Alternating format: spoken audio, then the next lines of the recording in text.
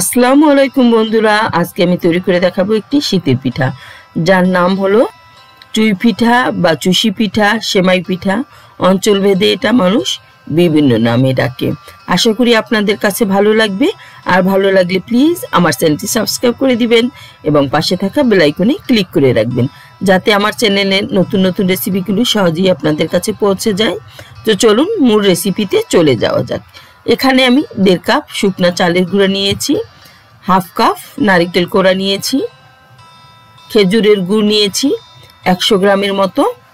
আমি চুলা একটি হাঁড়ি বসিয়ে তাতে খানিকটা পানি দিয়ে এর মধ্যে গুড়টা দিয়ে দিয়েছি। গুড়টা আমি গুলিয়ে নিব।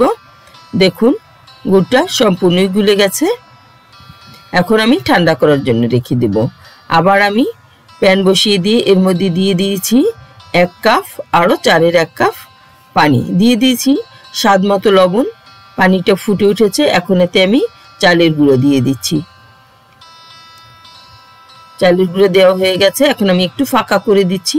ফাঁকা করে এটা ঢেকে দিব। এটা মোটমাট আমি পাঁচ ছয় মিনিটের মতো সিদ্ধ করব। ঢেকে দেওয়ার দুই তিন মিনিট পরে আমি এটা নাড়িয়ে একদম মিলিয়ে দিব। দেখুন, মিলিয়ে দিচ্ছি। চালের গুঁড়ো এবং পানি সম্পূর্ণই মিলিয়ে দিতে হবে। মেলানো হয়ে গেছে প্রায়।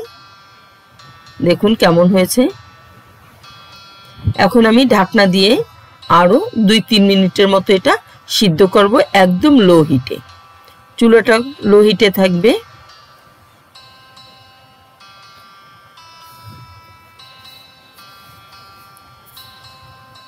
সিদ্ধ হয়ে গেছে। এখন আমি নামিয়ে নেব। এটা গরম গরম মথে নিতে হবে। কাইটে আমি গরম গরমই মথি নিব, নাহলে শক্ত হয়ে যাবে, তখন আর মথা যাবে না। যতটুকু হাতে সহ্য হয়, আপনারা চাইলে হাতে একটু পানি দিয়েও নিতে পারেন, পানিতে ভিজিয়ে ভিজিয়ে তারপর এভাবে করে নেবেন। দেখুন আমার কাইটা মথা হয়ে গেছে, এখন একটা আমি ভিজা কাপড় দিয়ে এটা ঢেকে রাখব। না হলে হবে কি, কাইটা শক্ত হয়ে যাবে, পিঠাটা ভালোভাবে তৈরি করা যাবে না। দেখুন আমি খানিকটা কাই নিয়ে নিয়েছি, এটা একটা রশির মতো লম্বা করে নিব পিঠাটা তৈরি করার জন্য। চুই পিঠা তৈরি করার জন্য কাইটাকে একটু লম্বা রশির মতো করে নিতে হয়। দেখুন, আমি দেখিয়ে দিচ্ছি কীভাবে তৈরি করতে হবে। আমি একটু চালের গুঁড়ো নিয়ে নিয়েছি। এতে হবে কি? এটা লম্বা করতে সহজ হবে। দেখুন, আমি একটা রশির মতো করে লম্বা করে নিয়েছি। এভাবে আমি সবটুকু কাই দিয়ে এরকম লম্বা লম্বা রশির মতো করে নিব, তারপর পিঠা কাটবো। দেখুন, আমি কয়েকটা করে নিয়েছি এবং পিঠা কেটে দেখাচ্ছি কীভাবে কাটতে হবে। হাতে এভাবে ডলে একটু একটু করে নিয়ে কাটতে পারেন। আমি কেটে দেখাচ্ছি। আবার এরকম ছোট ছোট করে পিস পিস করে নিয়েও আপনি হাতে ডলা দিয়ে করতে পারেন। ছোট ছোট টুকরো টুকরো করে নিতে হবে। যেভাবে সুবিধা হয় আর কি। এভাবে আমি একটু দেখিয়ে দিচ্ছি কীভাবে করতে হবে। দেখুন, হাত দিয়ে এভাবে ডলা দিতে হবে। এই যে।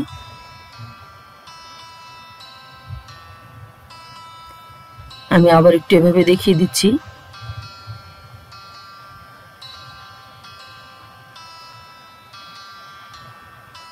এভাবে আমি সম্পূর্ণ পিঠাগুলি বানিয়ে নিব। দেখুন, আমার কিছুটা করা হয়ে গেছে। আমি দেখিয়ে দিচ্ছি কেমন হয়েছে। সম্পূর্ণ পিঠেই আমার তৈরি করা হয়ে গেছে।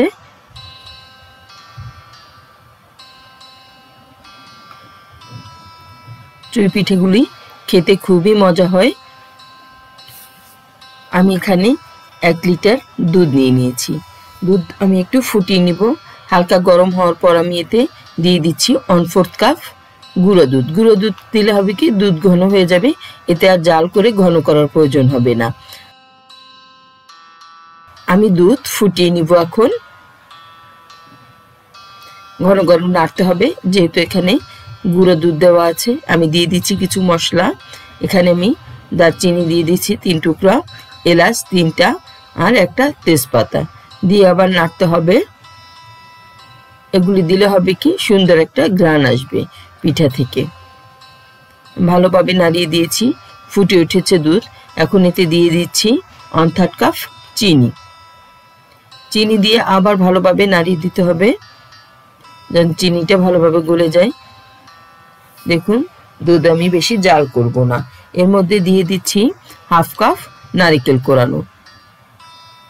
অল্প অল্প করে দিয়ে দিতে হবে। দেখুন, দিয়ে আবার আমি নাড়িয়ে নিচ্ছি। আমি দুধ, মোট মাঠ পাঁচ ছয় মিনিটের মতো জাল করেছি। এতে আমি দিয়ে দিচ্ছি এখন পিঠাগুলি। অল্প অল্প করে দিয়ে দিতে হবে এবং নেড়ে দিতে হবে। না হলে হবে কি, পিঠাগুলি লেগে যেতে পারে। জমাট বেঁধে যাবে সম্পূর্ণটুকু যদি আমি একসঙ্গে দিই। দেখুন, দিয়ে নাড়িয়ে দিচ্ছি। আবার দিয়ে দিচ্ছি কিছুটা। এভাবে করে সম্পূর্ণ পিঠাটুকু দিয়ে দিতে হবে। দিয়ে ভালোভাবে নাড়িয়ে নিচ্ছি। পিঠা দেয়া শেষ। এখন আমি রান্না করব এটা সিদ্ধ হওয়া পর্যন্ত। পিঠাটা সিদ্ধ হলেই রান্না শেষ। নাড়িয়ে দিতে হবে। বারবার না হলে দলা পাকিয়ে যেতে পারে। দেখুন অনেকটাই পিঠা ঘন হয়ে গেছে। আমি একটু দেখিয়ে দিচ্ছি এটা কেমন ঘন হয়েছে।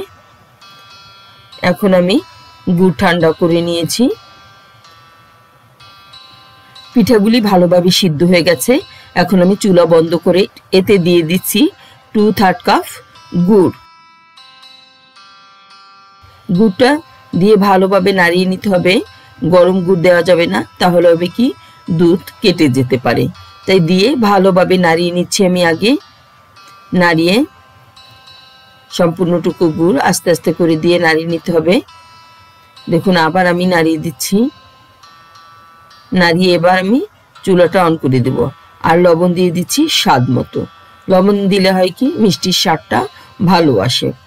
আমি চুলাটা অন করে দিয়েছি। এখন হালকা আমি ফুটিয়ে নেব। দেখুন, পিঠা ফুটে গেছে।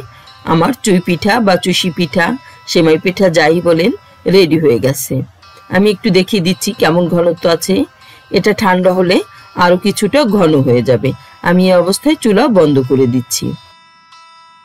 আমি একটি সার্ভিং ডিশ নিয়ে নিয়েছি, এতে পিঠাগুলো সার্ভ করে দিচ্ছি। দেখুন কেমন দেখাচ্ছে। আমার তো দেখতে খুবই ভালো লাগছে। আশা করি আপনাদের কাছেও ভালো লাগবে। আমি একটু দেখিয়ে দিচ্ছি, এর ঘনত্বটা দেখুন কেমন হয়েছে। ঠান্ডা হয়ে এর ঘনত্বটা অনেকটাই বেড়ে গেছে, দেখুন। তো বন্ধুরা এখনও আমার চ্যানেলটি যারা সাবস্ক্রাইব করেননি, প্লিজ সাবস্ক্রাইব করে দিবেন। এবং যারা সাবস্ক্রাইব করেছেন, তাদেরকে অসংখ্য ধন্যবাদ। বাসায় ট্রাই করবেন, বেশি বেশি শেয়ার করে দিবেন। সবাই খুব বেশি ভালো থাকবেন। আল্লাহ হাফেজ।